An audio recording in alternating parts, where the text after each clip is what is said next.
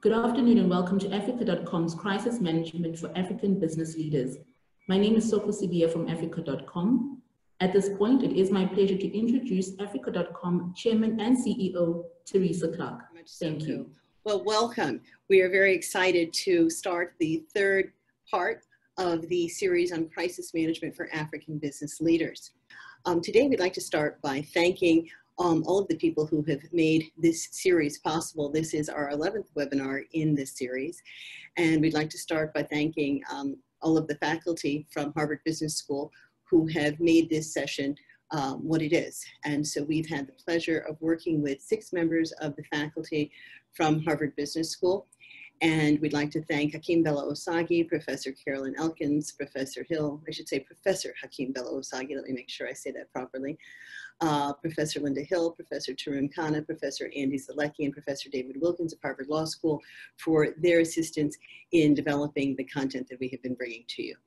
We'd also like to thank our lead sponsor, Standard Bank, for their steadfast commitment to our program from the very beginning and all throughout today. Um, today we're looking at those digital trends that are, have come about as a result of COVID-19. We're looking at those digital trends that have uh, have been helpful in helping all of us to survive in the current new normal. But we recognize that these digital trends are not likely to leave um, once we resolve COVID-19. These trends are likely to be here for a long time and to stay. Um, and so we put together a wonderful panel of people who are at the forefront of all of these trends. Um, we have a moderator who is Dayo Olopade, who heads partnerships for Google in France, and she is the author of The Bright Continent, a book that has explored Africa's leapfrog in, leapfrogging in technology, and she has traveled the continent exploring the same sorts of digital trends that we are looking at today, and so we are in very able hands um, as we uh, work with Dayo to tackle this topic today. In addition, we have a just an all-star uh, set of panelists, starting with Dr. Funmi Adewara, who's the founder of uh, and CEO of Mobihealth International. She's going to talk to us about telemedicine and how telemedicine has taken a leap forward during this time. Mark Elliott, who is the division president of MasterCard Southern Africa, is going to talk to us about how contactless payments have grown tremendously during this time as a both a um, way to stay safe, but also a greater convenience for African consumers. We have Makano Mosidi, who's the Chief Information Officer at Standard Bank, who's going to talk to us about how banks have changed and how banks are serving their customers better and how they are using technology to provide a better consumer journey. Ned Desmond is with us. Ned is the COO of TechCrunch, the leading magazine in Silicon Valley that follows trends primarily in the US, and he's going to be giving us some perspective on how all of these trends are taking place in the US and what else he is seeing from his very unique vantage point. Thank you very much for joining us today, Ned. We have Wambura Kimunyu, who is the CEO of Eneza Education. She's going to be talking to us about EdTech and as Africa has shut down schools, how is Africa surviving? Are the students getting what they need from distance learning? We know there's some challenges, but she's going to talk to us not only about the challenges, but the successes that are taking place in that space. And finally, we have Ailyssa Pretorius, who is the head of Uber Eats for Sub-Saharan Africa.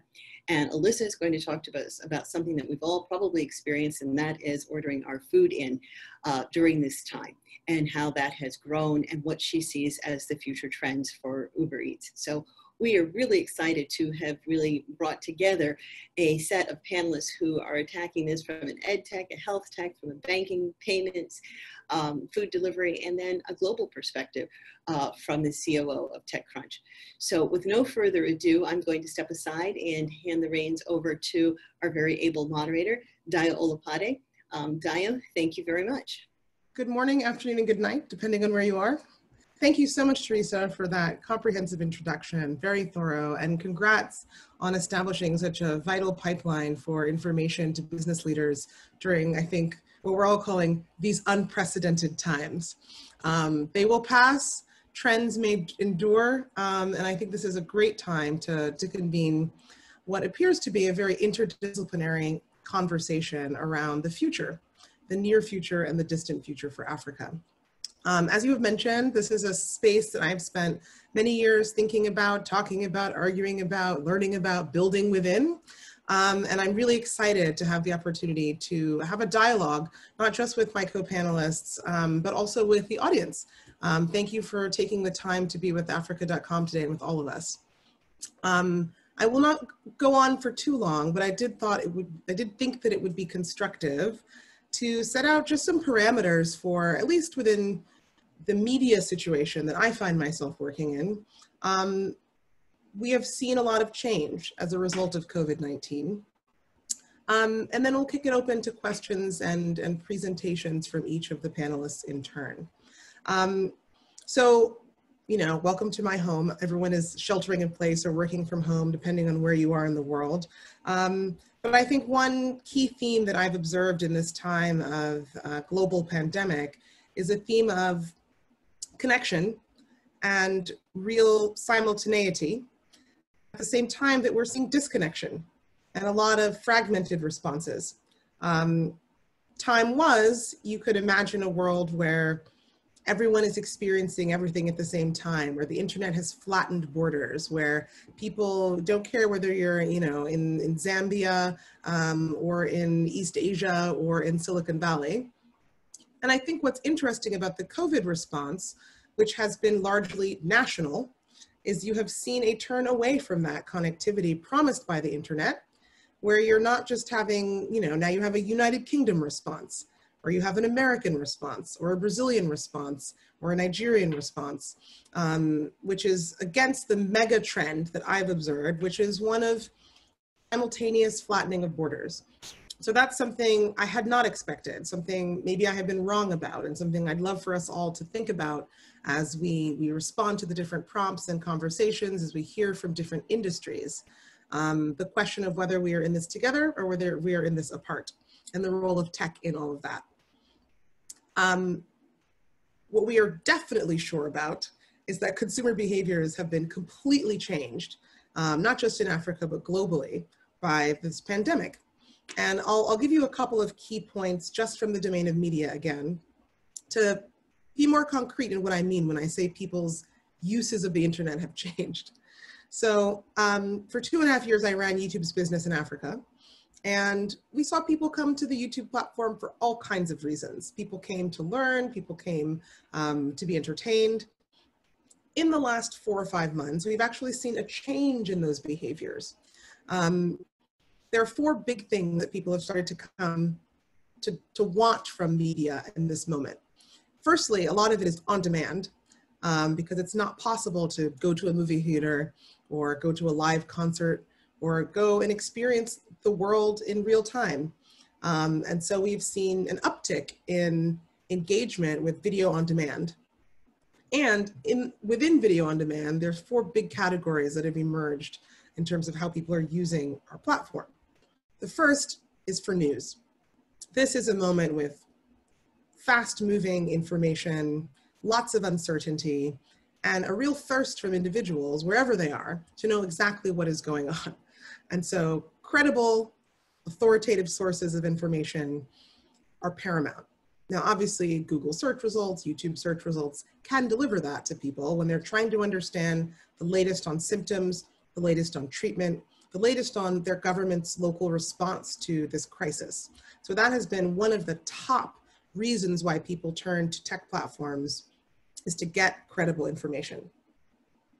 The second is actually more in the realm of spiritualism and well-being. I'm sure all of us in month two, three, four, or maybe even five of uh, a stay-at-home situation have started to find a little bit of fraying around the edges of um, you know, how we stay grounded, how we stay sane.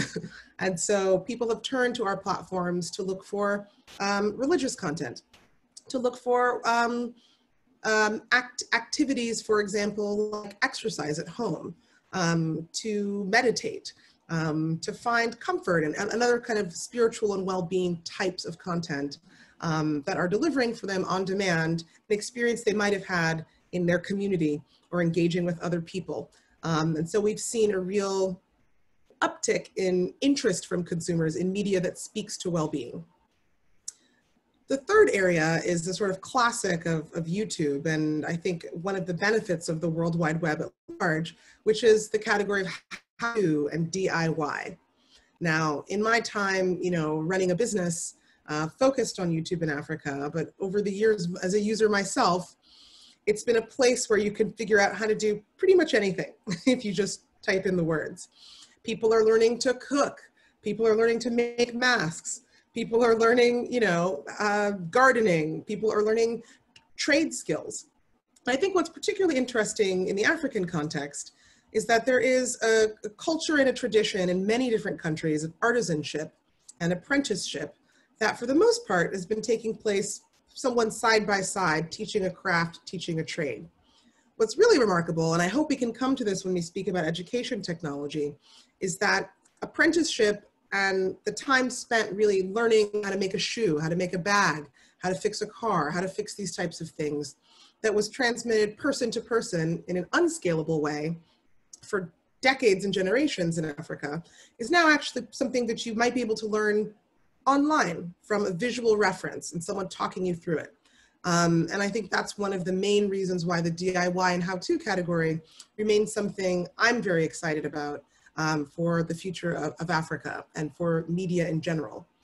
So that's been a big category under stay-at-home lockdown, um, is people just trying to figure out how they can improve themselves, how they can learn a new skill, reskill, or, or transmit knowledge, whether it's learning a language, a spoken one or a programming one, or learning how to build something new, um, whether a dish or um, some kind of material object. And the last category is pure entertainment.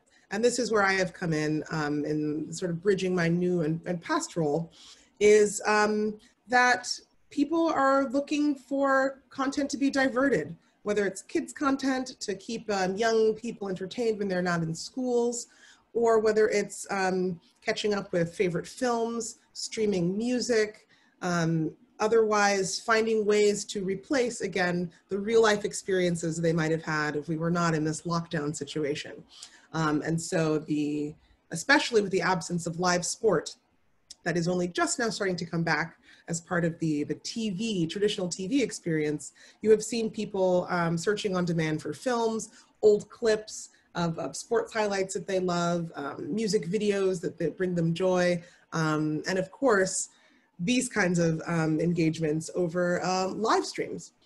Um, YouTube, I think, should should take credit and has gotten some some great feedback for organizing a wonderful benefit concert on Africa Day, um, which was in late May, and I hope many of you caught it um, featuring some of the continent's biggest stars, um, global talent, again, using the platform to take um, stories from Africa to a global audience.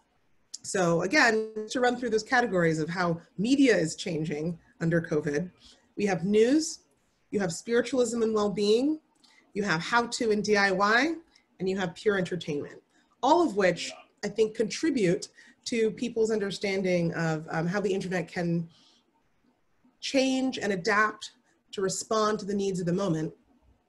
And I'll leave you with a general thought about how I'm thinking about whether these trends will yeah. endure or whether these trends will be temporary.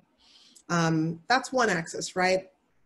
These consumer behaviors that are temporary versus consumer behaviors that are durable, and which, and we'll talk a lot about where we sit on that spectrum between the two. But then going back to my earliest point, the things that we're going to do together and the things that we're going to do apart and where these different behaviors um, are going to converge as a kind of global trend or be something that is invented, you know, whole cloth in a very local way. Um, and those are the two big axes that I'm thinking about across all of these different disciplines. Um, and ideally, we'll be able to get into the meat um, of how, how these industries are changing um, across those, those different axes. So without further ado, I will wrap up this kind of introductory remarks um, and turn it over um, for a poll that I think Soku is going to help share with us. And then we'll get into questions from for each of our mm. panelists. To what degree do you agree with the following statement? I have increased my digital consumption habits over the last three months. This could be food delivery, online movies, the use of Zoom. We're all on Zoom now, so I think maybe that might have increased. 96% of the people agree with that statement, 2% neither agree nor disagree, and 1% disagree. We'll move to the next question. How has the digital divide in your country changed over the last three months? So the digital gap between the have and the have-nots. Has the gap narrowed? Has the gap remained the same? Or has the gap increased? So the gap has increased, 46% uh, of the people have said. Let's load the next question. Do you think that COVID-19 has propelled Africa forward in terms of use of digital technologies? So 93% say yes and 7% say no. That is the end of the poll. Thank you. All right. I thought that was very illuminating, actually. Um, obviously, we have a very digital audience here, given that we're all on a uh, virtual conference um, discussion, but um, not a lot of controversy. I think everyone is agreeing that the, the digital situation has been a lifeline, I think, for many people who are trying to maintain some sense of continuity and, and order in the way that they are conducting their business and conducting their lives. Um, but again, it, it, does divide into a, a, matter of people who have access and people who don't. Um, and that when we speak about the internet, we're still speaking only about a fraction of the world's population. And in Africa, those divides can be very real. Um, so thank you for that thought, thoughtful poll to ground us in a sense of who we're speaking to and um, what general consensus there is um, about, about how COVID has impacted um, the, the continent.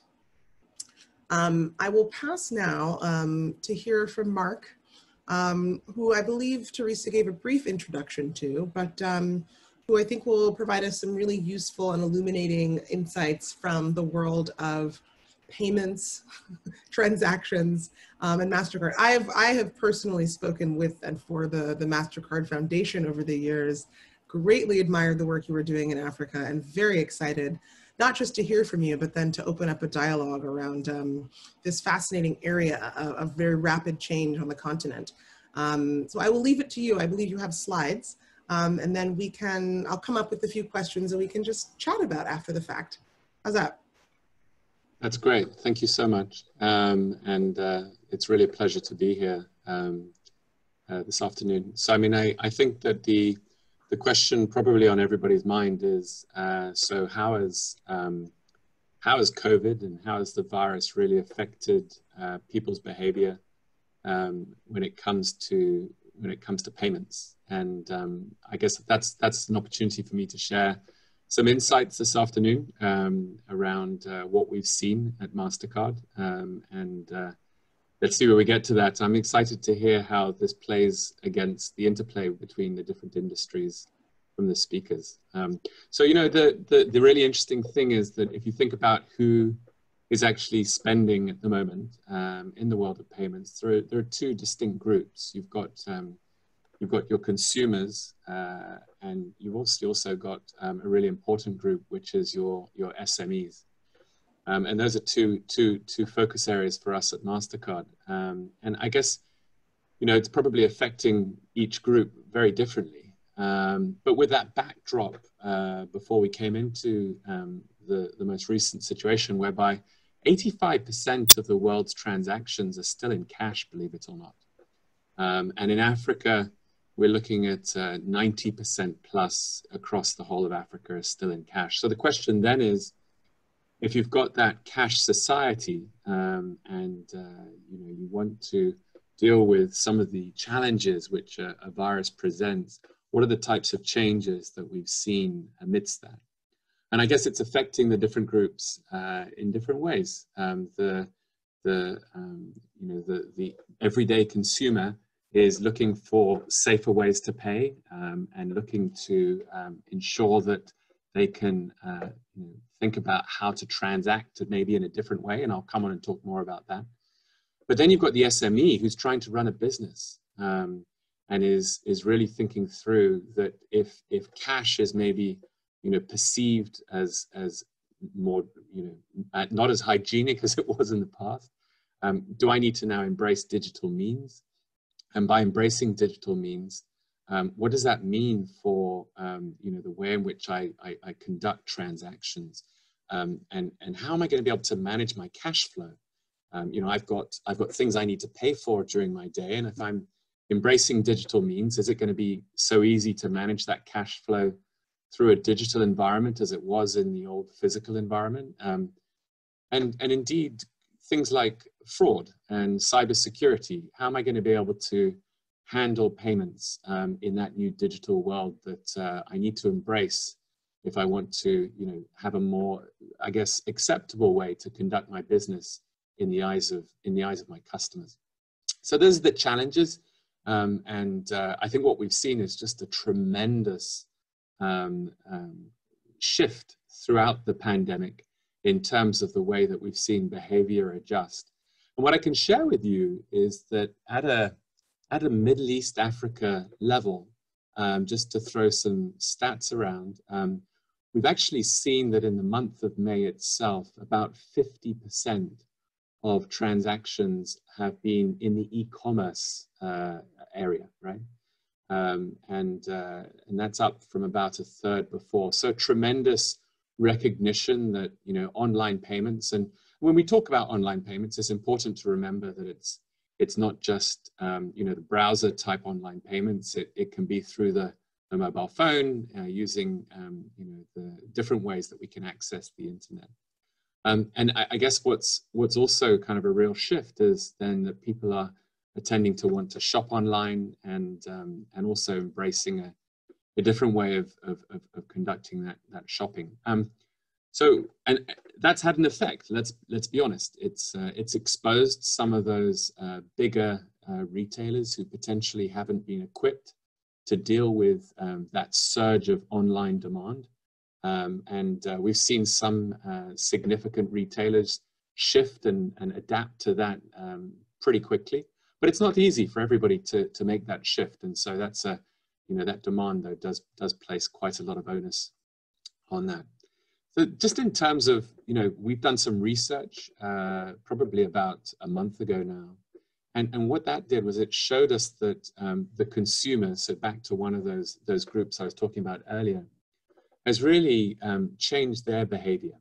Um, and what the research showed us was that um, customers are now seeking out um, a place where they can conduct contactless payments. So they're looking for a place where they've got that symbol, where they can ensure that they've maybe got a, a safer way to pay, um, a more hygienic way to pay, um, and uh, a little bit more discretionary in the way that they are shopping. Um, and if you've got that symbol, that contactless symbol on one of the cards in your wallet, then potentially that card becomes almost top of wallet. Um, and so, you know, in the past, we've always talked about top of wallet cards being maybe the one that gets you into the air, airport lounge, allows you to maybe have a benefit or a perk that, um, you know, you thought was, was really important to you in your own personal lifestyle, maybe a bit of cash back at point of sale, for example. Um, but now it's it's actually it's about having that safer way to pay, and, and that has provided a, a different way of looking at, um, at contact, contactless.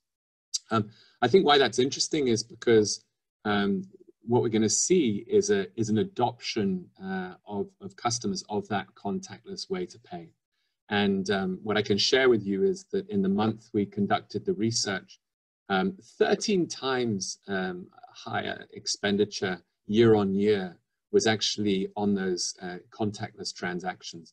So a huge shift in terms of customer behavior. They tend to be on transactions, you know, around the um, $25 mark, below the $25 mark. So displacing a lot of cash, um, which, um, you know, smaller ticket items, which uh, people are happy to, to tap and go with. Um, but, you know, a real shift in terms of customer behavior. But let's not stop there. And I think it's really important to recognize that when we talk about contactless payments, it's not necessarily about just the card form factor. Uh, what we're seeing increasingly is that people are spending more time on their, their phones and um, they, you know, doing a variety of different things, but they're also looking at how they can pay with their, their mobile phones. And so we're starting to see that customers are thinking through what are the options they've got to do those kind of contactless payments um, is it with a card or is it potentially something that I can do with my phone? Um, or is it indeed a, a, wearable, you know, a Garmin or a Fitbit? Is that a is that another form factor which I can use, and potentially that could be another way to pay? So it's it's creating a habit, and in payments, um, habits are good if they if they're displacing cash, and um, doing things which are helping people's lifestyle and improving their consumer experiences, which is really what we obsess about. Um, and, uh, and, and I think that's the change we're making. Um, I think just then to, um, to kind of round off on, on, on, on, on this first initial um, question around um, the change in, in contactless payments, I think it's just important to recognize that what I've spoken about so far is really on the, um, on the customer side, but there also need to be um, more contactless options on the, on the acceptance side as well. And so the change I guess we're seeing is that a significant shift in terms of um, innovation.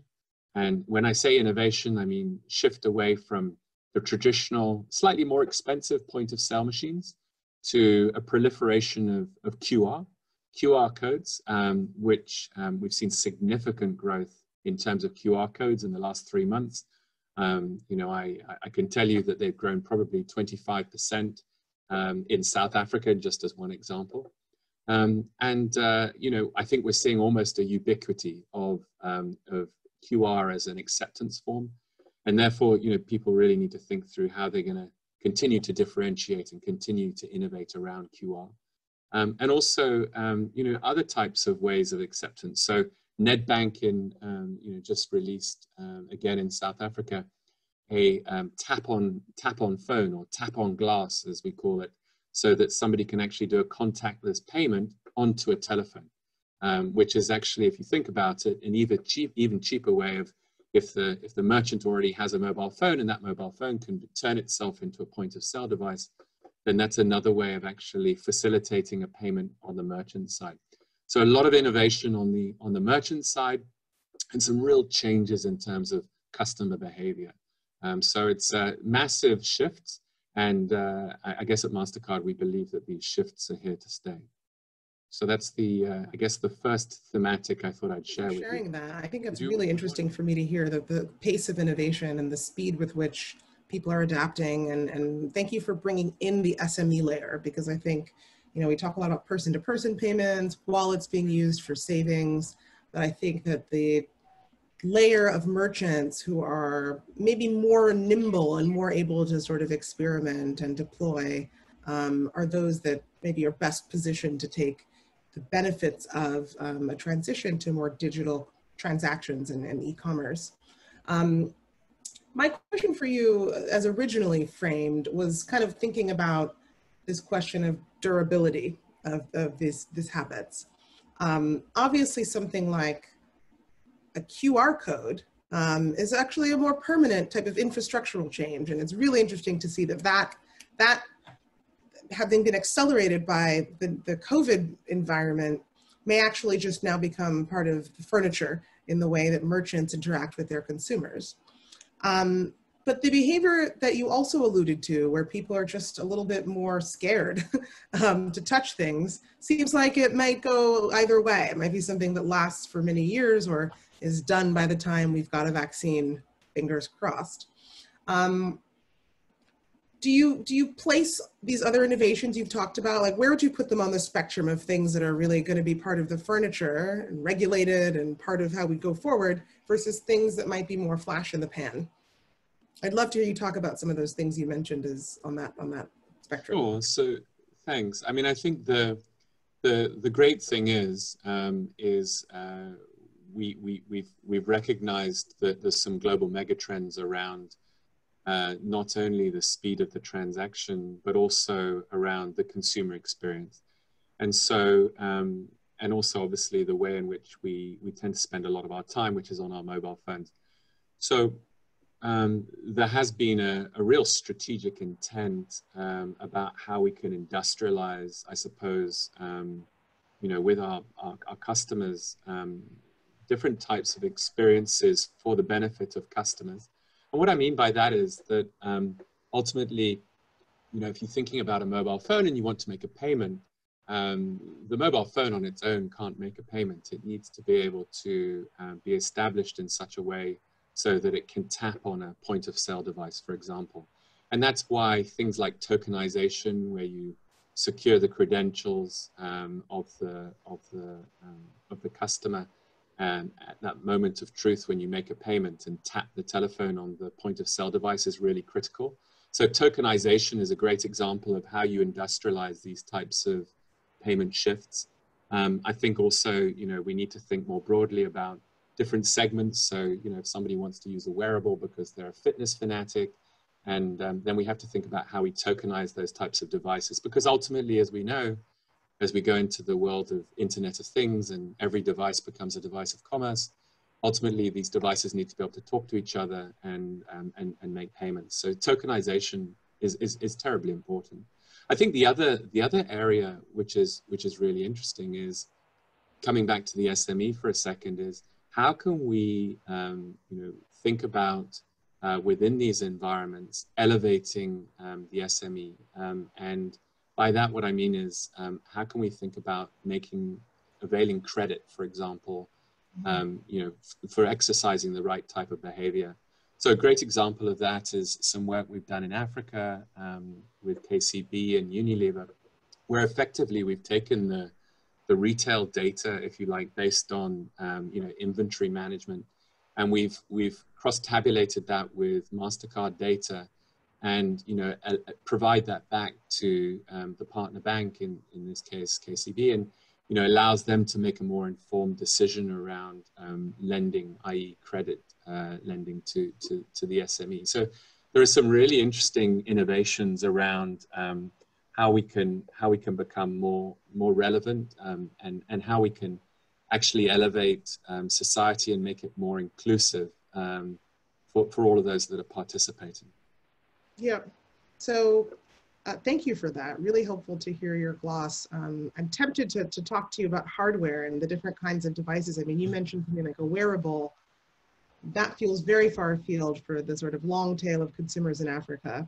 Um, but it's very possible that you may see these sort of large scale movements to provide government identity cards that then could also be embedded with some kind of um, near field communication technology that would allow people to, at scale, kind of engage um, with hardware that, that allows them to transact.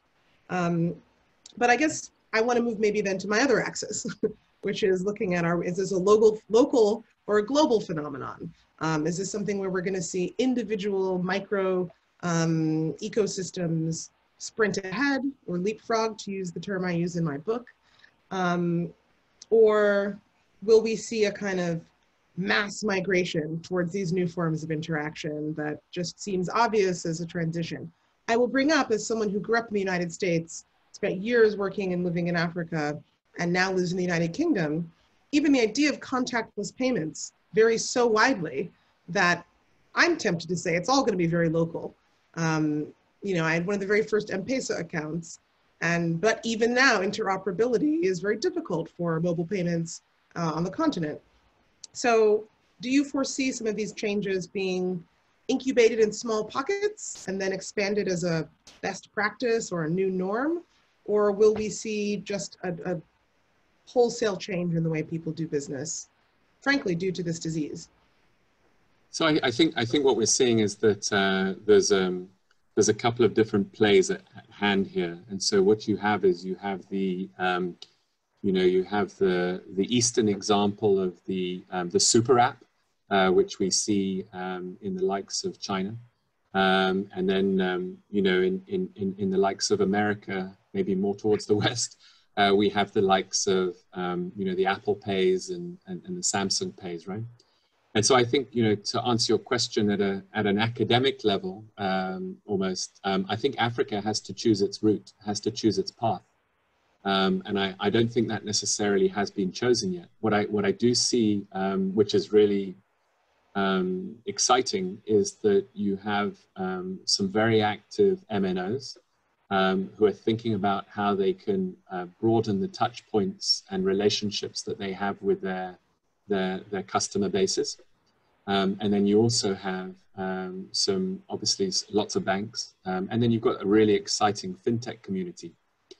So, and, and, and, a lot of them want to embrace payments as part of that, uh, that strategy, uh, potentially to enable things like what you spoke about, i.e., you know, streaming of video content, for example, um, or potentially to, you know, get into availing credit. So I think to answer your question, you know, MasterCard's role amidst all of that is enablement. Um, and, and what we're looking to do really is to, um, you know, to drive what I would call a multi-rail strategy, whereby at that moment of truth, when a customer wants to make a payment, they can pull from their mobile money wallet or they can pull from their, uh, their bank account or indeed from their card and facilitate a payment at that QR code or indeed, you know, whatever they require to do. I think we're early in the journey and that's why um, I say that we need to choose our path and then get behind it. Um, you know, when you talk about interoperability, we know that things like remittance are some of the most expensive corridors on the continent. And, uh, you know, we need to find better ways and easier ways for those that need to send money around the continent to be able to do it more affordably.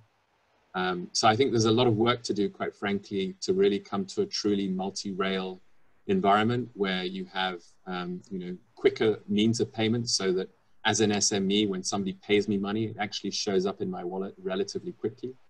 Um, but it's an exciting journey, and I, I think um, it's kind of in Africa's hands to decide how they're going to take it forward.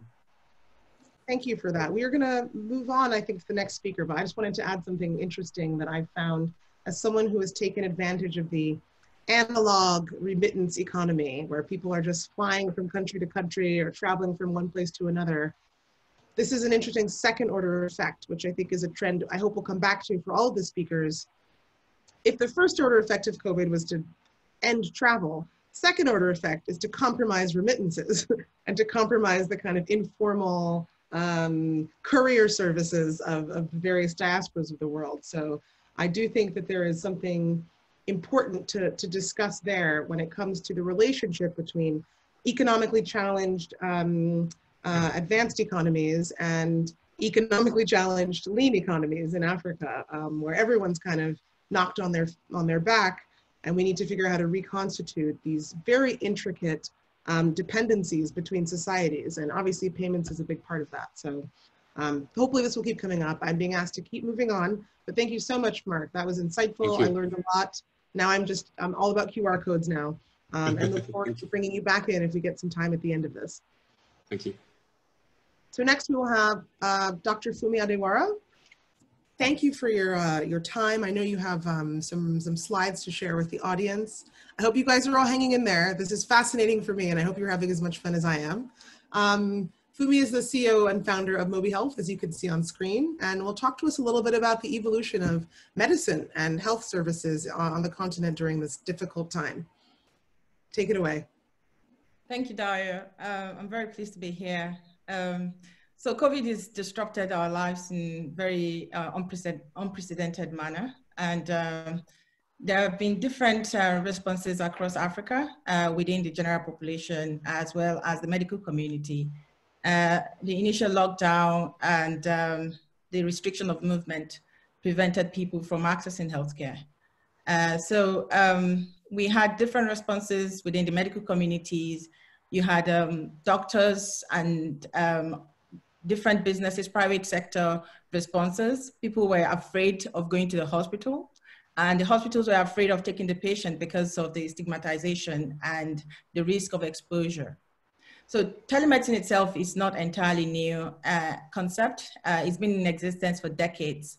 However, the adoption across Africa has been really slow before COVID uh, for various reasons from technical barriers to lack of awareness and to, to just the general um, uh, preference towards an inpatient visit, uh, as well as just uh, digital uh, empathy. So uh, telemedicine really at the COVID-19 pandemic has thrown telemedicine to the forefront as a cost-effective solution, uh, given that we're talking about medical distancing, uh, social distancing, and, and, the fear, the genuine fear of contracting COVID has led to change in consumer behavior. And what you find is um, within the general population, people are now warming up to the idea of um, leveraging uh, telemedicine to access healthcare.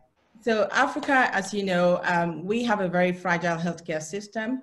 More than 95% of the 1.3 billion people lack access to basic healthcare, from poor infrastructure to uh, exposure to counterfeit medicines and unqualified personnel. But importantly, uh, one of the critical barriers to access is the shortage of doctors. The numbers are very appalling. You, you see here countries like Mozambique having 600, about 694 doctors to a population of 26 million people. Uh, Ethiopia, 3,000 to 115 million people. Uh, Kenya, 7,000 to 46 million people. It's, it's really a very, very terrible situation. If you look at Nigeria, for instance, we have only 72,000 registered doctors, and more than half of us are outside the country. Nine in 10 of those are left behind, are on their way out um, to, to Western countries. So massive brain drain uh, is causing a lot of uh, problems and barrier to, uh, constitutes a fundamental barrier to access today. But telemedicine um, provides an opportunity to bridge this supply gap and can actually help Africa to leapfrog from uh, unsustainable healthcare models to sustainable ones. So you see, you see that um, most of the medical problems can be resolved at primary healthcare level. More than 70% of medical problems can be resolved at primary healthcare level. 60% of medical problems can be resolved via telemedicine. COVID-19 presents a very good opportunity for Africa to leapfrog from not having quality healthcare now to providing quality healthcare even at the convenience of the patient's home.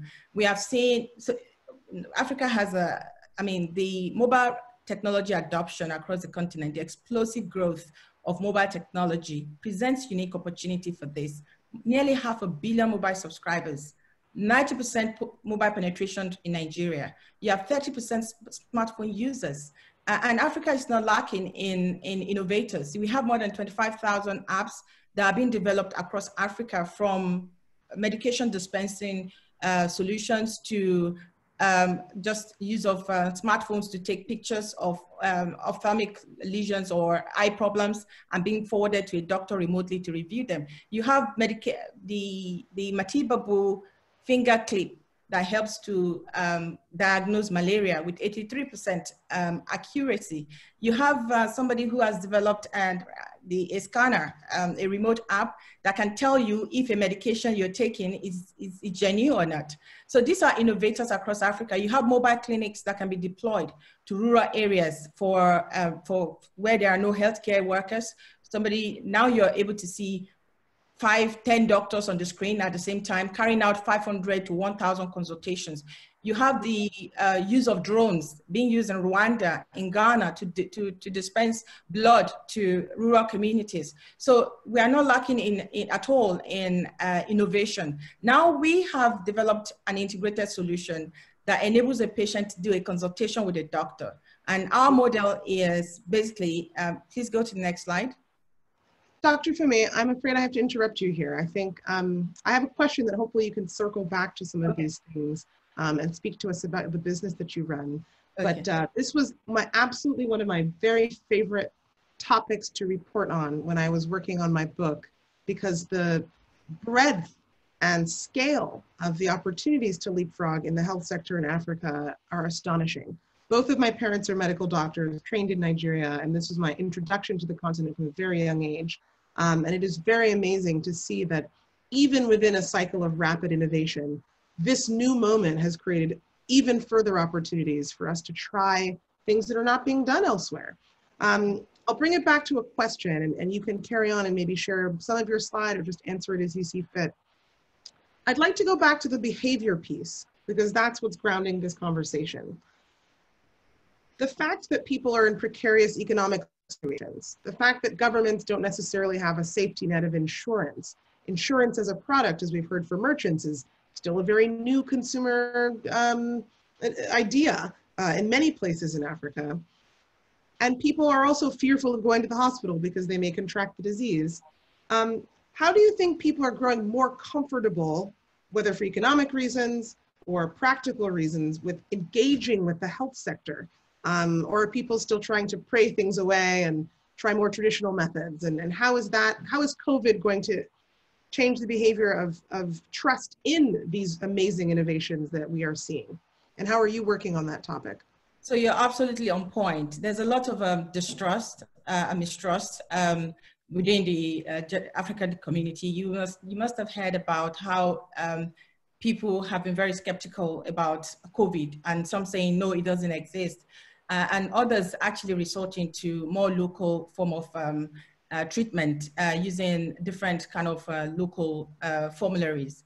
So yes, that mistrust does exist. Uh, and also we, the poor adoption of telemedicine across the continent is not just, um, does not just apply to the consumers alone. We also have doctors who, are, who have been very, very slow in adopting telemedicine. But because of the current realities, people are now more um, inclined to leveraging whether it's a phone call or it's a WhatsApp call or a Skype call to, to, to access care. And there's still a lot of work that needs to be done uh, in, in providing access to care. And for primary health care, really, I think, you know, um, like I said, 70% of medical problems can be resolved at primary health care level. Yeah. Uh, however, the primary healthcare physicians that you have in most of these primary health centers are doctors who barely have any training, postgraduate training uh, beyond their initial medical degree. And that is why people defer to tertiary and secondary centers. And that's not cost effective. So we need some sort of restructuring around primary health care that would improve trust in the quality of care that people get. Uh, most people default to chemists and um, pharmacies before they even think of going to the hospital. So COVID-19, the reality is that because of the fear of going to a face-to-face consultation, a brick and mortar facility, people are now more willing to try uh, teleconsultation. And, and so we need to build uh, an inclusive product that speaks to the need of all the um, spectrum of um, individuals or health seekers um, so that we can build a more productive, a more inclusive uh, solution that addresses the need and then build trust on that. But yes, that's a significant uh, barrier to access. Yeah, I think this is very, very important because if people are, if you can reach the layer that is touching the public, whether it's a chemist or a pharmacist or even, I don't know, even if it's in a format like WhatsApp or FaceTime or Zoom that feels more organic. Yes. Then you can at least get around that big mental challenge of people not wanting to go to a hospital where they fear I'll wait in line all day. There will be a bill. I don't have cash to pay this. I don't trust the system. Um, that's very important. And you uh, asked about how we've been able to use our platform to address this. Yeah. So we have built an inclusive product that speaks to both smartphone users and the those who have just feature phones. So our platform is accessible through smartphones. It's also accessible through toll-free lines as well as telehealth clinics where we can deploy, uh, for instance, mobile clinics or uh, prefabricated containers or just simply plug in to a functional primary health center by just putting a computer or an iPad there and somebody can come into the clinic. You do not need to have any digital skill and you can be connected to a doctor who speaks your language. So we have Hausa, Igbo, and mm-hmm. uh, French speaking doctors depending on where you are. So you can be connected to the doctor on the screen and you have um, places, communities where there were no doctors or maybe they have only one doctor. And then now they can now speak to doctors on the screen and you can have like 1,000 consultations per day. This is so important. Um, is this happening transnationally? Is this across borders? Is it so possible we, I could have an issue in Nigeria and reach a doctor who's in Zambia? That's right. So what we, we, a pan, we have a Pan-African focus with a global outlook. Nigeria is our entry market, but we're expanding into Kenya, Ghana. We hope to be in half of the continent by 2024.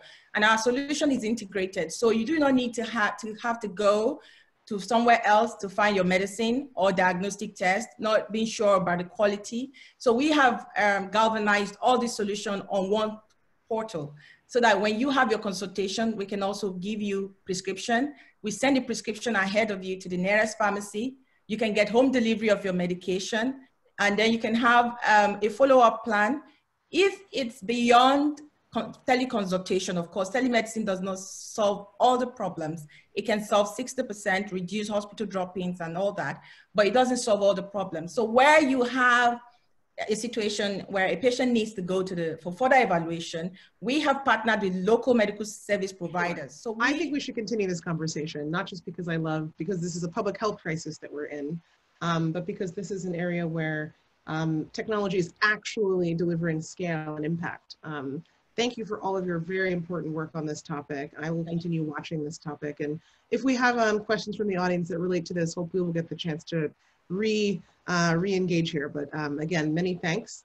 Um, I'm going to pass the microphone on to uh, Ned Desmond, um, who, as was introduced at the beginning of the call by Teresa, um, is working with TechCrunch, um, a global media operation that, again, has its finger on the pulse of technology trends and has done great work in Africa in recent years, um, holding demo days and also covering the business of technology on, in the region. Um, I don't know, Ned, if you have slides, but I will pass to you just to share a bit more about your perspective, maybe what you've learned on this call so far, um, and then we can move on to just some Q&A about um, your perspective on COVID in Africa. Thanks very much, Dayo. Um, I'm really delighted to be here. Uh, thank you, Africa.com and Teresa for inviting me. Uh, and congratulations on such a well-produced show. Uh, we're trying to figure these same show formats out at TechCrunch, and I have to say you've done a wonderful job. So uh, thank you very much. So uh, as Dayo said at the outset, uh, we really do live in unprecedented times. Uh, they're curious times, they're frightening times. Uh, and before I, I, speculate a bit on what that might mean for the startup scene in Africa, uh, I think it's uh, meaningful to set the scene in the United States. we have zero interest rates here effectively.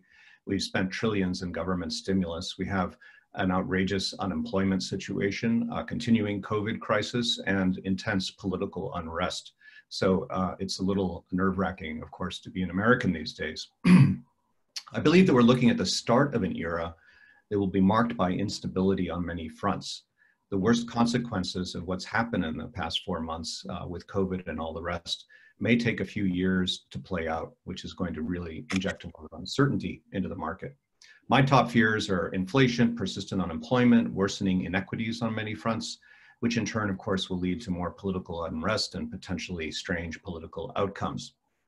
Uh, I'm also worried about geopolitical unrest, conflict between the US and China in particular. Even if they manage to avoid a real war, which I certainly hope is the case, the tensions between the countries will hurt both economies and the startup scene, uh, like TikTok's difficulties, which I'm sure people are aware of. But right now, from the standpoint of markets, uh, US is strangely buoyant.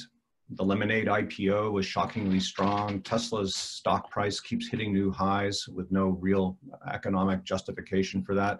So obviously there's a lot of froth in the US market. IPOs continue, and there's a lot of anticipation around Palantir and Snowflake coming out this summer.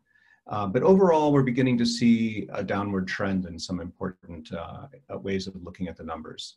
Uh, exits via IPO or acquisition have definitely slowed down the, uh, versus the prior two years. We're tracking at about uh, half the level of what we saw in 2018 and 2019. And the US uh, venture investing market is a bit muted. Early stage investments um, are healthy by most accounts. VCs are figuring out how to make bets on founders they have not met in person, which is quite shocking to VCs because they always imagine that so much depends on face to face contact. Um, but now, uh, in the past couple of months, it's become very macho to, quote, write a check to a founder on the strength of a Zoom meeting or two. Uh, I guess you could say we're entering the era of tele VC or contactless VC uh, because that is the only way they can really do business. In any case, uh, there's simply too much competition at the early stage level for investors to sit it out right now. This is a trend to watch, I think, especially from the standpoint of founders outside the US who are interested in US based investors.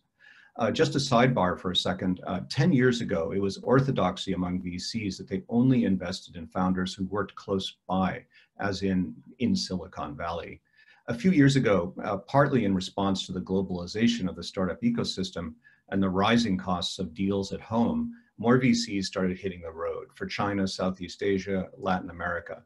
Uh, so that was a little bit of a trend, not a, uh, a majority trend by any means. But now that investors have broken the ice with this idea of doing deals on a Zoom call uh, out of necessity, uh, no contact investing, if you will, I think this trend is going to accelerate. VCs out of necessity are going to be less home homebound and more virtually adventurous.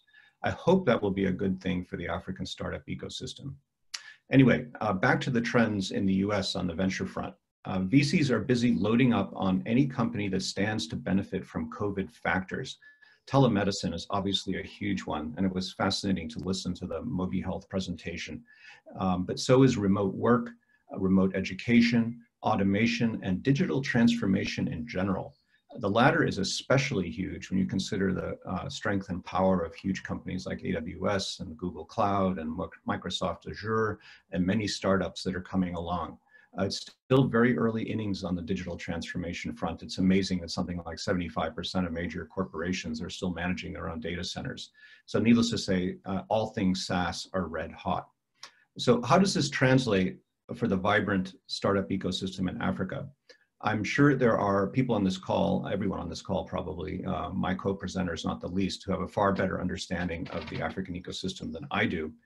But let me make a few observations based on my experience from running TechCrunch's battlefield competitions in Nairobi in 2017 and Lagos in 2018, where we all came away impressed by the quality of the scene and the founders we encountered.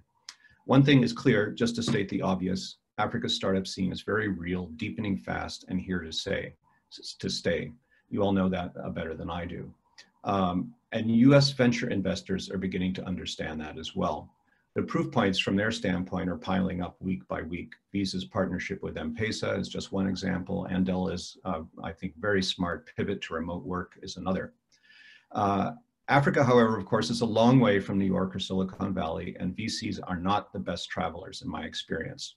But I think the new Zoom era uh, of founder VC relations are really going to help accelerate uh, US VC involvement in Africa. More importantly, Africa is a dynamic, vibrant, hopeful place compared to much of the world, and, and perhaps even compared to the US these days.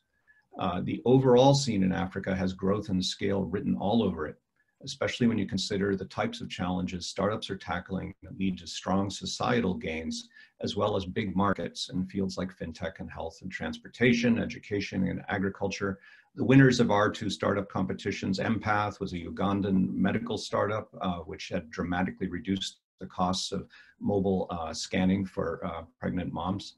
And uh, the uh, Lori Systems was a, a, company out of South Africa that had done remarkable work, essentially making it much more efficient for truck drivers to take their loads from port to uh, city.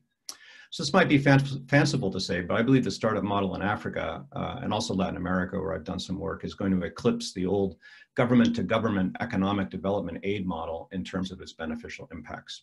Um, at the same time, despite all of that uh, very hopeful news, the startup system is still not a self-sustaining powerhouse. That takes years to develop.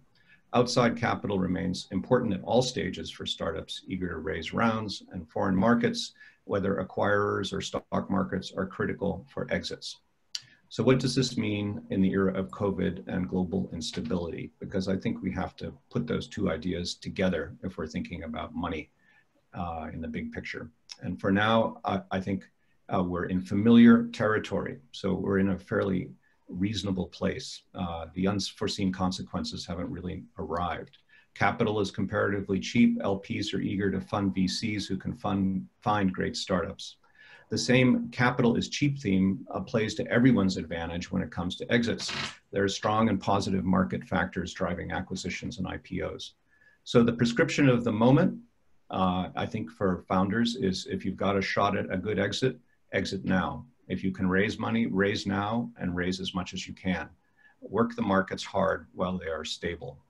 And the prescription for down the road is, I think, brace for disaster, uh, be prepared for tough times, and be sure you're building a business that can sustain itself and not dry out on, the, on a lack of capital that might arise in the future. It's hard to know what shape these hard times will take, but it'll be a miracle if the US and the West in general have a soft landing in the current climate. So sorry to end on a slightly negative note, but I think it's a realistic one. No, I, realism is appreciated in these settings. I think um, in my experience as a business reporter and based in East Africa, but covering much of the continent, um, I think a narrative of entrepreneurship that connects very nicely with resilience, doing more with less, dynamism that is obvious to anyone who's actually paying attention to how African societies and economies work. But there is also a kind of underbelly to, um, you know, working without a safety net um, which is common for many entrepreneurs, government, shout to Mark and MasterCard, where people, you know, they don't have friends and fools to go to for their angel rounds. They don't have a credit card to max out while they kind of bootstrap something. And so entrepreneurship in an African context is both something we're very proud of, but also something that's unusually precarious.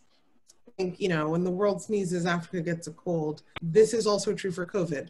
Um, and so it's, I was thrilled to hear you say that some of, one of my biggest grievances about the startup investment space in Africa is how it's just doesn't have access to people who are based in California and can't be bothered to get on a plane. No offense. Um, so it's amazing that we're now seeing contactless investment. I would love for that to be something that it goes from temporary to durable, because I think you know the opportunities are are there, but the access is not. And so if people are able to, if not get on a plane, at least open their mind to connecting to someone who might not be in the same time zone, I think that's an incredible legacy um, for this very tragic moment we find ourselves in. Um, I want to talk to you a little bit um, more about, um, I guess, what I'll call the like medium term, because you've given great advice if you're a startup looking to raise right now. Do it, get the money. People are looking for places to put capital now that interest rates low and it's very uncertain. In the long run, I think it's it's reasonable thesis that Africa is, as you said, is a place where growth and scale are, are obvious, where you know you've got a billion people, many developing new internet habits. Um, but in the medium term, particularly given COVID, no one knows what the next two to three years look like. So for exits, um, which seems to be something the VC community loves to see in order to back future yeah. lookalikes. Um, but other kind of realization events, like what is the medium term outlook? Is it something we can't know? Um, will it be different from America, do you think? Um, or will it be just a global recession that affects everyone in the medium term? Well, I, I think the you know, financial markets are are in a really peculiar state, and and I don't know if anybody really has much of a crystal ball on our current circumstances. So I think there's a lot of fear of runaway inflation. Um, in the West, we haven't really uh, encountered serious inflation for really almost two generations, and um, nobody's quite uh, got their heads wrapped around what this might mean. On the other hand, you know, uh, countries like Japan that have had similar problems with the collapse of um, uh, values in, in real estate and, and all kinds of equity holdings did not see the inflation that a lot of people predicted. So it's, it's very, very hard to know. But I think, you know, what if there were a kind of policy objective that I would, I would say is incumbent on, on big African countries that have already got a pretty good um, capital position, and Nigeria not the least, is that the faster the internal capital markets develop, the safer the startup scene is going to be. Um, I think that that's uh, a, a, capacity that's there. Um, we talked a little bit at the outset, Dayo, about, you know, is the world going to become more interconnected or less interconnected? And uh, I think that's really in the balance here. And, um, you know, to the extent that there's a, a sort of uber policymaker in any of these countries um, thinking about the importance of the startup world, it would be interesting to kind of do the exercise of how, how much more self-sustaining can we make this? How much can we reduce our dependence on the outside world? It would be such a shame if uh, economic setbacks in the West led to some kind of a, a, failure of confidence or just a shortage of funds in a place like Africa when uh, this impact and, and benefit of the startup scene is so already so profound and, and exciting. Yeah, so I guess um, one question to close is, you know, we're talking about Africa. It's something that I struggled with in writing my book, um, how to talk about a continent of people that most of whom we haven't met. Um, but then I look at the way people think about investing in the European Union or in the United States, big markets, lots of people. Is that something that's handicapping Africa um, as a region? The fact that there is linguistic differentials and regulatory differentials, how, how how much of that is preventing the kind of major deals that you see in, in other parts of the world? I, I just think there are too many uh, people in the United States who are unfamiliar with and uncomfortable with um, uh, learning Africa because Africa is an enormous topic. It's an enormous region, as you said. It's the kind of place that you really need to spend a lifetime uh, thinking and living uh, in order to have any semblance of an understanding. So it's easy to go to Paris or Berlin, uh, it's tougher to go to uh, parts of Africa and, and really learn what's going on. So I think that that's the gap to close. Um, I, there are some brave investors who are so happy that they've not learned Africa so much as they've made friends and business associates, and now they have flow in Africa. It's, it's tremendously exciting. Um, that's the key thing, I think, is to get the people interested. Um, right okay, now, it's well, a trickle. Well, then I'm going to put this back to you as a challenge, Ned, because you are doing great work as TechCrunch. You're a well-respected um, Silicon Valley must-read. Do more. You guys have been doing a lot, but I do think that this is important. The stories we tell, the things we familiarize. It's a, a moment of opportunity actually right now. People are at home. People are willing to do a Zoom with anyone. Um, I think we can all collectively do more to advocate um, for the ecosystem of entrepreneurship in Africa. Thank you for already doing your part and in advance for the work you will keep doing. Thanks so much, Dayo. Um, so up next, we are going to um, pass to Wambura Kimunyu, um, who is going to speak a little bit about the education sector um, and how the situation for um, continuous learning, um, whether very young children who are in school age or, or lifelong learning that we're seeing from YouTube and other platforms like it, um, have changed under COVID. So I will pass it to you, uh, Wambura, and, and do let us know um, uh, how you'd like to take the Q&A forward. I'll ask a few questions and hopefully we'll get insights from your slides. Thank you. Thank you very much, Dayo. Um, I think everybody is um, repeating what you said at the beginning, which is that these are unprecedented times. Um, and especially for the edtech sector, we had a very interesting time beginning mid-March um, here in Africa. Um, we're a nascent sector as edtech compared, for example, to a sector like fintech.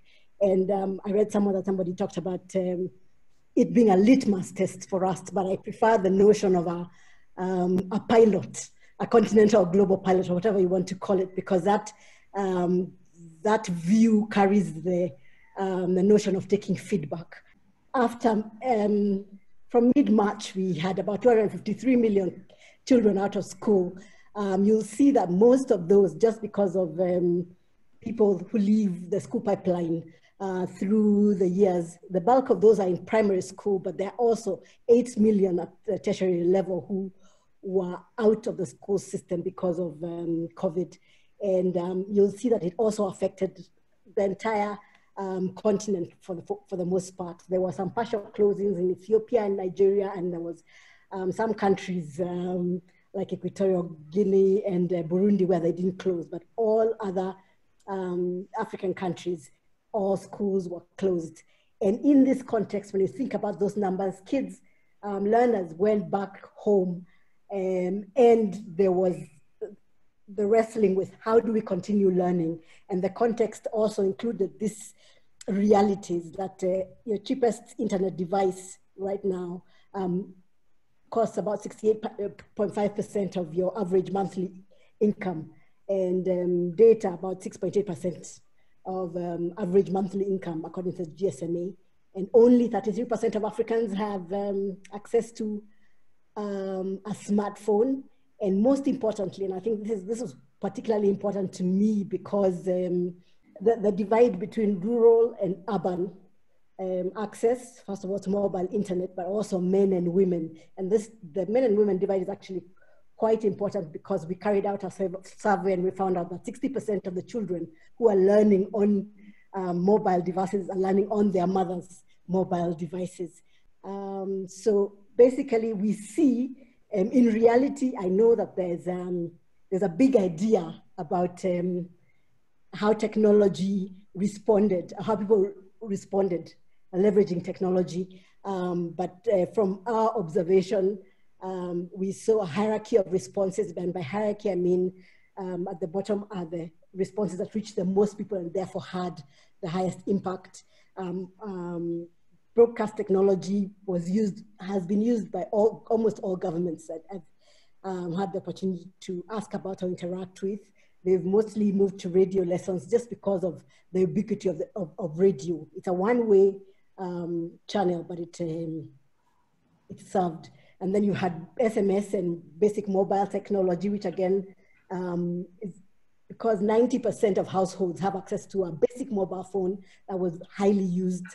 And then on top of that, then a few, few are those who have access to a basic smartphone and have some knowledge of how to use technology, widely used social apps. In fact, this has been most widely used um, in small numbers, right? So you have schools, teachers teaching um, or organizing their uh, classes via WhatsApp into classes and sending videos sometimes to their students and um, what's it called? Notes, instructions about how to um, continue to learn.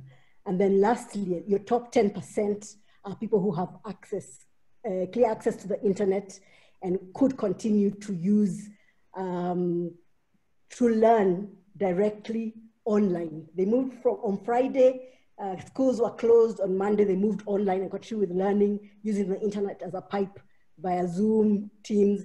So there was an entire, there was a, slice of Africa that continued completely like that, that, like the rest of the world. And these were all the basic responses. I will go to the next slide and just quickly um, just mention that the ecosystem of players had very many different um, reactions.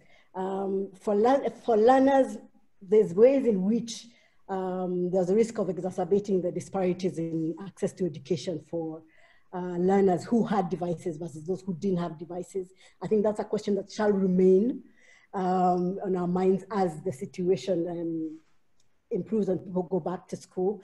Um, I will just highlight for governments um, that they've had to grapple with the question of how to provide access and create an equitable environment for learning. And that's at the very basic level, electricity grid, um, internet uh, infrastructure, etc.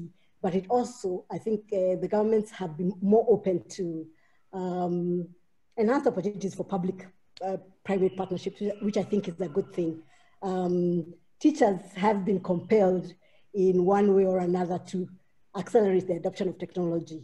Um, they've just had to, if they wanted to continue to interact with their students. And it's some, for that, some it's been a difficult journey, but you can see movement even for those who uh, are laggards.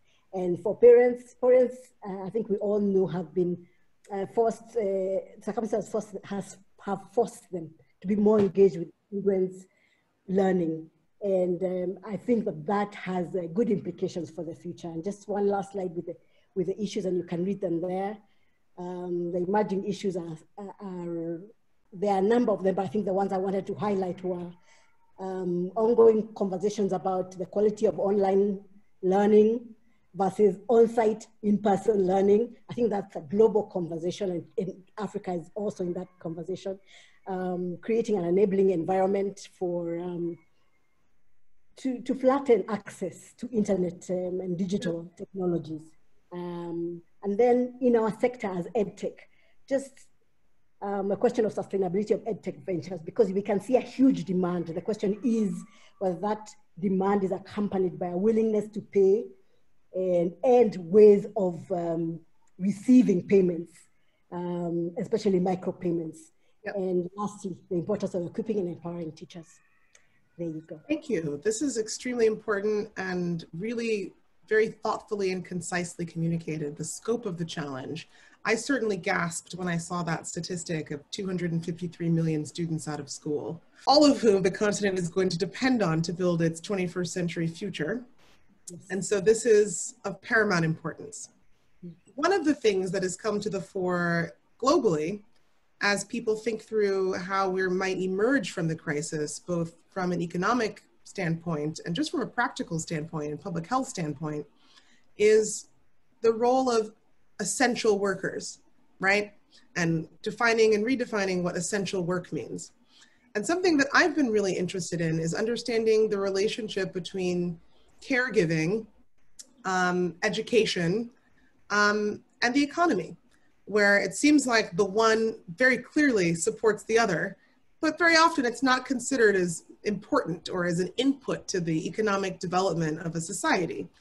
This stuff is seen very starkly in the disinvestment that African governments have made in education over the years, and also in the rise of private alternatives, whether it's religious schools or mom and pop operations or you know new companies like your own This is a, a topic I explored in my book and a chapter about youth and the future of Africa. But I'm very curious as to whether you see this conversation that you have changing to really understand the importance of education as infrastructure. um, whether people are now starting to realize the importance of this given the crisis, or whether we're still in the same deprioritization, I suppose, um, as in the past. Um, I think, I think that um, there's a sense my, my, sense has always been that education um, is still seen in Africa. We, I, I, say that there's two things in Africa that, uh, that Africans value, land and um, education. And yep. edu- both of them are value, right? Education delivers value in the future. And I, you can see that in the conversations people are having now about how to ensure that kids are not left behind, right? What do we do to um, to continue to deliver learning and um, to continue to advance um, students through um, your educational system, despite the fact that you do not have in-person learning. So I'm a bit optimistic in terms of um, what this, because a lot of questions have been raised, right, through this time. How do you continue to deliver learning in this new context? And um, our sector and other sectors, the governments, parents, everybody's trying to answer this question. Um, but I think that in terms of um, commitment and an understanding that this is, is, is an important question before all of us, I, I, I see that there's a lot of agreement that this must yeah. sit at the. Yeah, yeah. I mean, it's hard not to agree, but you know, when you see where the, the rubber meets the road, where the budgets go, sometimes you wonder where the priorities lie. Um, so my other question, I guess, is maybe just around um, not the proliferation of the sort of private or public experiences, but really like who is taking ownership over the provision of those services and paying for them in some way. Um, will it be governments via budgets?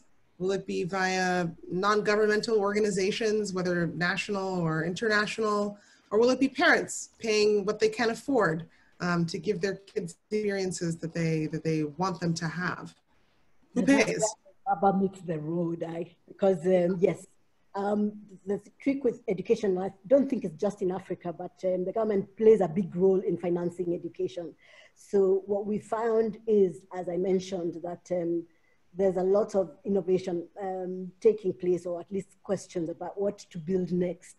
Um, but um, who will pay is still up in the air, and that is what unfortunately will end up exacerbating differences because parents who have parents, parents who have means will be able to pay for the very best, but you do not want to leave the bulk of um, children behind um, in, in, in the process. And there's been some interesting um, advances at least. Uh, for example, I like that uh, in Rwanda, um, there's a conversation about getting a smart device into every home. Yep. For reasons such as this, because then you, you know that um, they have a sense that you you drive some equality there, and then you can you can sort of yeah. And it may be that okay, so the public sector will take on that second bullet in your slide, the enabling environment, which is what they might do for all kinds of economic growth. But if you provide good uh, in broadband infrastructure and reasonable access, and that covers many sectors, but it also helps education. Yes. So thank you again, Wambura, for your time. Um, look forward to seeing you next time in KE. Um, next, we're going to go to Makano Mosidi. Um, I'm um, delighted to be here. Thank you for inviting me just to share some insights. And uh, so to your earlier um, um, poll, I think I found it most interesting in terms of the outcomes because it just confirms the number of things that one feels are going to actually endure beyond the COVID-19. So just as an introduction, I mean, the, if, if any one of us in this audience does a simple Google check on 2020 technology trends, we will all without doubt come back with artificial intelligence, we'll come back with uh, Internet of Things, we'll come back with uh, robotics or blockchain or uh, deep learning or machine learning. which is quite good and fair. And I think truly those technologies are trending. We don't know if they'll endure, but right now it's what everybody's talking about. But I've chosen to actually share with this audience just our life experiences because of COVID. And out of that experience, I think the kind of technologies that I think we will actually endure, some of them are a surprise to me because they've just been there since the beginning of time. Some of them are fairly new and we see the advantage of those. So I have taken COVID as a gift because um, that lockdown presented to us and share our presented to us some opportunities to, to test some of the things that probably we wouldn't have done at all. So I thought I'll, I'll just pick on those technologies and explain how we, we leveraged on them and how we found some value in terms of consuming them. And the first one, uh, which is a pretty old tech that has always been there, which is connectivity. Um, I think it just came to the fore when we had three weeks to get over 50,000 employees to work from home and to be able to enable them to communicate within a secure environment and to be able to continue servicing clients and giving them that superior service that the clients would like to have. And just for us to be able to do that, I think it was a first. It's good always to talk about, oh, yes, we should actually be able to work remotely. But just at this point, I think it was a must. It was a burning platform, and we had to actually mobilize and make sure that people can work and they can actually continue giving a service. So we're not necessarily ready to do that. However, if I look at the software driven networks, those networks which are intelligent, which can actually respond to the traffic sizes and the traffic criticalities, I think that is the first critical success factor that anyone would like to have going forward as well, especially if we have to tap into those new markets and new geographies and those remote areas that should actually form part of the economy. So I think, in my view, connectivity, networking, intelligent networks, those have become like a basic service. And I think it's a travesty if people don't have connectivity to be able just to be active in the economy. Mm-hmm. Um, so I think for my place of work, like I mentioned earlier, it was really about making sure that we get over 50,000 people working. But firstly, I mean, it had to be a secure environment. So I think all those good things that we probably might have not been as strong, they actually came to the fore. So connectivity, ability to actually communicate remotely and work remotely, that was the first uh, point, And I think that technology should continue and we should continue advancing our communications network. We should continue making them more intelligent, more responsive, and more secure. The second one, I think, is just in terms of what we call digital channels. Because when we engage, when we, we, we actually get our clients interacting with us, when we get our clients engaging with us, and when they transact with us, and, and I'm more on the corporate side of things in the bank, I think that interaction, because it's mostly FaceTime, but we have seen now in terms of the trends, is beginning to be more digitized. So each and every organization is working on digitizing their operations and we are no different. The digitization of our channels was accelerated and there was a definite increase in the number of clients who used those channels mm-hmm. because it provided a safe environment, it provided a secure environment where they could do it without having to be subjected to the risk of the virus. Yeah. What we saw I mean, the uptake and the uptick in the volumes, in the number of those digital interactions, they more than doubled. And the convenience to our client was evident in those increased volumes. Um, I want to talk to you as a, a business leader working within an organization. because I think that is one of the more salient aspects of how you have been reacting to this environment and probably pretty helpful for a lot of the people who are on this call who are maybe themselves in a business leadership role, trying to figure out how to adapt, and above all, trying to understand how important technology is to their future. On the one hand, this is a moment where getting scrappy, doing more with less is essential. Um, all of us who are taking our phone calls from our living rooms and our bedrooms know this. On the other hand, this is an opportunity to leapfrog and to really make sure that as customers turn to these digital channels, that your digital channels work. The user experience is great, that you're learning, getting feedback, and building for success in a future that may not include a pandemic, but will have this digital aspect to it that remains. So my question for you as a leader, and maybe as advice to those who are business leaders themselves or operating within businesses, how do you prioritize your tech investment, your tech debt, um, over keeping the lights on, keeping your people paid, making sure your marketing is still connecting to people. Um, and how do you see those trade-offs um, in a moment like this? So Dayo, I think yeah, that is a life of a business leader like myself in terms of how you, you should continue to prioritize, how you should continue to make sure that you do what is important. But firstly, maybe let me comment and say there is no tech without people. Okay. So, and there is no tech for its own self or for its own sake. So depending on what we'd like to drive, and from, from where I'm coming from, what I'd like to drive is really those experiences that our clients should have to actually increase the share of the wallet to make sure that we drive the economies and we accelerate the economies.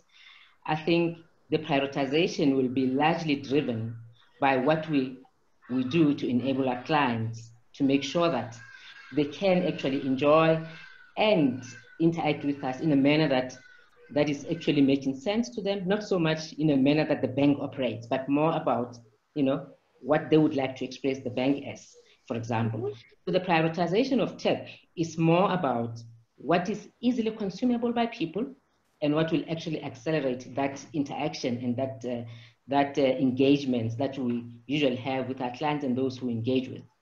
And today, when you think about the ecosystem economy that we are in, the collaborative way that we work, I suppose you want those technologies that are open, that are not necessarily proprietary, that will actually allow you to start building indigenous products and platforms that will help you to accelerate your own economies and the nuances of your own geographies. So I think in terms of that prioritization, we should look at those things that will be development, developmental in nature, that will accelerate our economy and actually make sure that as people engage, as people continue to, draw, to grow their economies, they can actually tap into those technologies. But not only to tap, but also to also manufacture those that they can consume themselves. Today, when we look at the collaborative platforms that have actually fueled the, the, the, the, engagements and that have actually grown because of the COVID pan pandemic, we see that those collaborative platforms have been very central to how we actually engage and how we continue to engage. So I think looking at where we are now, everything that we do, we should actually be open enough to see if you can actually even collaborate with your competitors to create value along the value chain. And that is why it's a platform driven economy now. So let's not close ourselves up, but more to open ourselves to working and collaborating and co-creating value and co-developing value with everybody along the value chain in whatever market or industry that you'd like to have. Um, I think this is really key. Your response is really um, enlightening and inspiring because it's one that's led by the customer, right? Um, you know, at Standard Bank, you're relentlessly focused on the end user, whether it's a user of financial services or the user of a technology. And so if you can focus on making that person thrive as a KPI, you can have that be marketing, you can have that be your IT department, you can have that be point of sale. All of those people are going to be focused on the customer. So that's a really good lesson and reminder for all of us um, who are really trying to make it in Africa, whatever our sector, being uh, focused on delivering a good experience for people is, is paramount.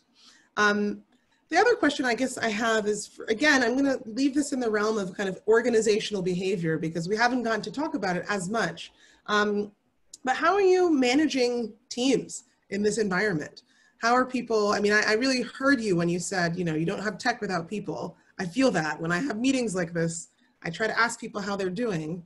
But how are you managing throughout this swirl to keep people prioritized, to give people the space they need to deal with and react with what is an absolutely crazy moment and of a lot of uncertainty and, and stress for people? So that I think, firstly, the role of a leader is more to inspire, yeah. to lead, to create a conducive environment for people that work with you so that you can actually achieve greatness together. So that is the first part. Whether it's during the, the lockdown, whether it's during the difficult times, I think a leader must actually rise above and lead and inspire and encourage people to do that. However, given the industry that we're in, given the digital era that we're actually operating in now, I suppose it's also important to create an environment where people can reinvent themselves. I do believe that this time, this era, uh, is for us to reinvent and to start interacting differently and learning to interact with the technology. So how do you do it then with the team that you have? Create that conducive environment. Make sure that you have the learning platforms that people can actually self reinvent as well and be encouraged to do it. If you look at um, my backyard, the chief executive himself is leading a challenge in terms of Trailhead. Trailhead is an online Salesforce uh, training platform. And he's saying, guys, I have a thousand badges now. And he's the chief executive. So he's inspiring us to actually go ahead and consume differently, to start consuming those platforms. Please, those audience, those of you who are in the middle of this very big challenge for businesses and leaders, let's come back to this because I, I don't want to deprioritize not just what we're doing, but how we are doing it. And, and I really appreciate your thoughts on this, Makano. And uh, we'll move on to our, our last um, discussant, and then Teresa will be leading an open Q&A. So prepare your questions on all of these very inspiring, interesting topics. Um, Ailyssa, please take it away. You are working with Uber Eats um, in a Pan-African sense. And uh, I know you guys have had some very interesting M&A uh, just announced this past week where uh, Uber is investing in Postmates. But let's hear the perspective from the sub-Saharan region. Um, and thank you again for being here with us. Absolutely. Thank you so much for having me and for the very um, capture in capturing session so far. I think it's incredible to hear how many similarities there are across industries and how much is happening quite similarly from you know, team focus to customer obsession across our industries on the continent. Um, so maybe just kind of who is Uber Eats on the continent, just for perspective. So Uber Eats is in 6,000 cities in the world, but we're in 12 cities uh, across two countries in sub-Saharan Africa, that being both Kenya um, and South Africa. And we've partnered with thousands of restaurants um, and courier, couriers across both of these countries. And I think the pandemic really um, took us by surprise in these in the, in, an, in the African or the sub-Saharan African context, um, based on the reactions by both governments on how we would approach food delivery. So when um, when it when we started as both countries to go into to different versions of lockdown in South Africa, a decision was taken to actually close restaurants altogether for the first stage of our lockdown.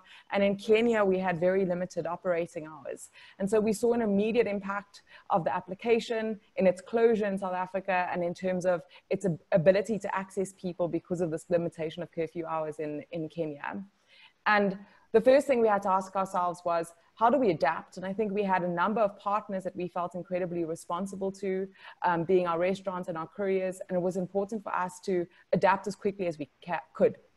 And so we did two key things. One, we introduced a product called Uber Direct, um, which is a B2B um, delivery solution, so a last mile delivery solution that we hadn't had in South Africa um, or Kenya before. And we really um, were quite scrappy in making sure that we were able to launch this as quickly as possible to get couriers and drivers on the road. And then we realized that people were at home and needed access to essential items, but were obviously fearful of leaving their households. And so we quickly introduced an essential service delivery um, service, really delivering everything from groceries through to uh, pet food, depending on what people needed. what was interesting is like starting to understand the scope of new things that could be delivered using the technology. Um, and so some of the things that we introduced were things like um, exclusive books, which is a book uh, retailer in South Africa, and understanding that people were at home, their kids were at home, and they were really struggling to manage those dynamics, introducing new things that we could bring to people in their comfort of their home where their mobility was limited what we were super cognizant of was how could we in, how could we be conscious of what the consumer was um, experiencing and and change the dynamics of how people interacted. And so i think there were two things. One was really about bringing safety into the application. So ensuring that we obviously complied with world health organization requirements but really that people felt safe. Um, and to your question earlier, or your thought earlier on, like what will stay um, in terms of how we interact post this COVID world. I think this is one of the things where people are now um, a little bit more conscious about their, their various interactions. And so things like um, enhancing our safety and our and food hygiene requirements was absolutely fundamental. And introducing things like contactless delivery, etc., really helped people feel safe. The other thing we realized was people couldn't see each other like they could. And so something like introducing the ability for consumers to share their deliveries with their loved ones so that they could send food to each other or send a book to someone that you loved during this time um, was particularly meaningful. Yes, I love that. I, love, I mean, people send rides. Like I would often be like, pick up my auntie and drop her off somewhere. I didn't realize people were using this to send Food. from one exactly. person to another. Love exactly. that. Love that and, innovation.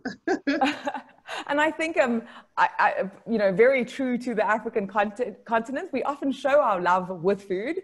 And so I think this, um, this small nuance to adapt to kind of where people were uh, was a very, was an innovation that I was particularly excited about.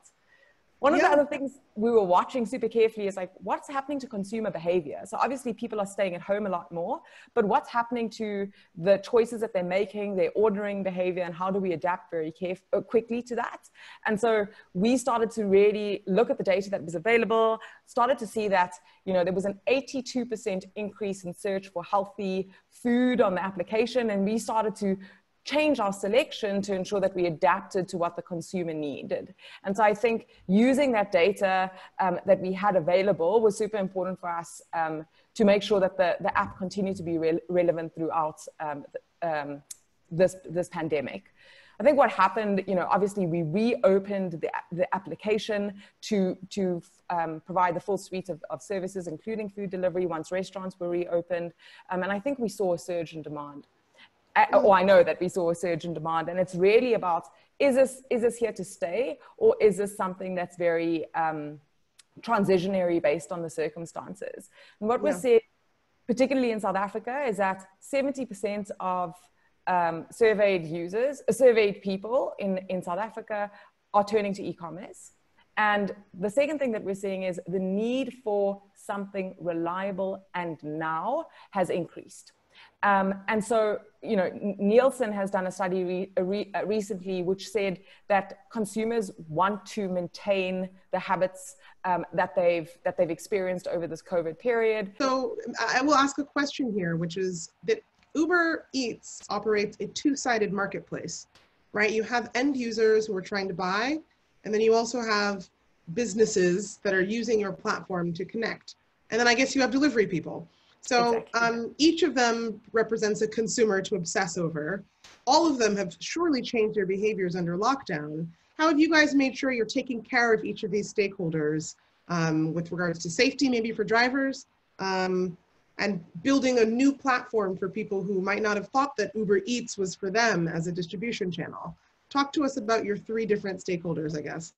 100%. So, absolutely a three sided marketplace and something very careful that we need to balance in terms of understanding all of the needs I think from a courier standpoint, what was fundamental for us was getting couriers on the road, driving earning opportunities. So um, that is obviously very real in a world where we work in a gig economy and a number of our couriers are not employees. And as a result, we need to ensure that they have an earning, uh, an economic opportunity, which might not be available um, when the application is closed. So that was first and foremost.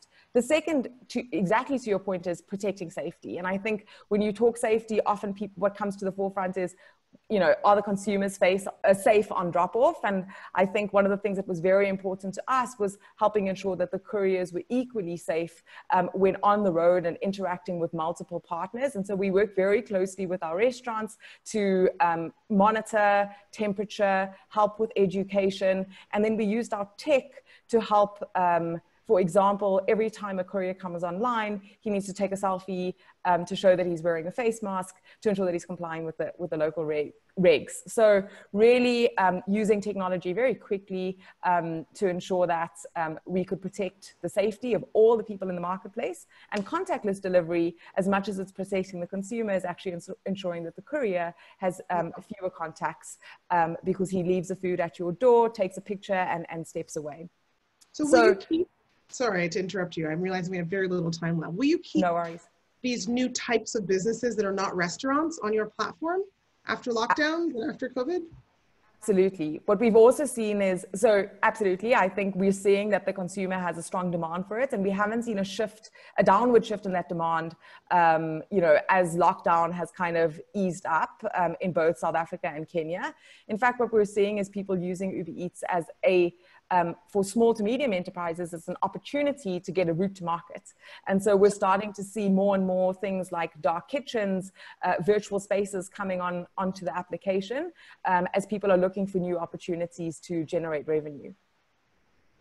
That is super interesting. And you can imagine opportunity to build more functionality for non-restaurants to really demonstrate what they sell. Um, maybe not a threat to traditional e-commerce, but an African version from an American company operating in a very weird context, which is, I guess, what we like to see. Um, I am told that we have, oh, we have one minute left. Okay, so I guess my other question for you um, really was looking at the global Uber Eats, you know, the M&A of a big, scary American business coming in and um, adapting for Africa, as we've seen. But how do you think about sending back what you've learned to kind of global um, and the unique experiences you've talked about in running this business and this time as being a way to show how you might leapfrog or adapt? Or are these just, again, individual local businesses, or are we going somewhere new together? Um, so I think what's actually a fundamental value of Uber is um, living locally and thinking globally. So using all the great like um, thought leadership that we have from being a global community, but ensuring that we hyper local in, in the way that we operate. And so, um, exactly some of the challenges that we see in South Africa, which was like one of three countries who closed food delivery, right through to um, you know, a Kenya where M-Pesa is such a fundamental payment me mechanic and ensuring that we customize, those are things that we work very closely with our global organization on ensuring that we prioritize the adaptation of application to be relevant to Africa. Um, and I think we continue to see um, from a global standpoint how, um, how Uber has prioritized Africa as a continent uh, for growth, and, I, and I'm, I'm looking forward to seeing that continue, even as Uber Eats grows across the continent. Okay. Well, I don't know if we can break news today, if you can tell us if there's going to be any more acquisitions. I will leave that to Ned, but I'm very interested to see because I think that that space in general has been a real bright spot, I think, for entrepreneurship in the food sector in Africa in many different countries. Um, I think we are out of time. I'm going to pass it over to Teresa, who's going to give us some closing remarks and lead the public Q&A, but you guys have been amazing. I've learned so much. I'm glad this is being recorded and we can keep learning from it. Um, please take it away, Teresa. Thank you very much. And Dayo, thank you for your excellent moderation of this discussion. You've done a fantastic job taking us through uh, this topic and through a large number of panelists today. So um, thank you. Well, I think the, the overarching theme I've heard from everybody is that we're now moving to a contactless everything. And the pressure to reimagine how our industries function in an environment where we have this hard constraint is simply a replication of some of the big structural economic constraints Africa has always had to deal with. And so really the rest of the world is catching up to what it's like to operate with one hand tied behind your back. Um, and so to all of you who are running businesses and enterprises in Africa successfully, those of you in the audience who are doing the same, kudos to you you are already better prepared for what's happening now than most businesses over the world. But it's also great to have the specific detail from what is happening with telemedicine, getting wide open um, to the reinforced um, need to invest in education for young people, um, to really thinking through how investment is going to change and may actually be something transformative for the continent. I have been inspired by everyone's story. Um, and I hope that more people will start to take the lessons we've learned from what you guys are doing, apply them to what their regional opportunities uh, may be, and that we kind of keep seeing a flywheel again so that this isn't just um, a temporary crisis that we survived, but something we learned from and built on so we could thrive um, as a community of people who care about Africa, who care about African business, who care about doing world beating, world leading um, technological innovation. Um, I think that, um, you know, you never want to let a crisis go to waste. And it does not seem like anyone is doing that. So thank you for your efforts. Um, and um, I look forward to following this story. So thank you again.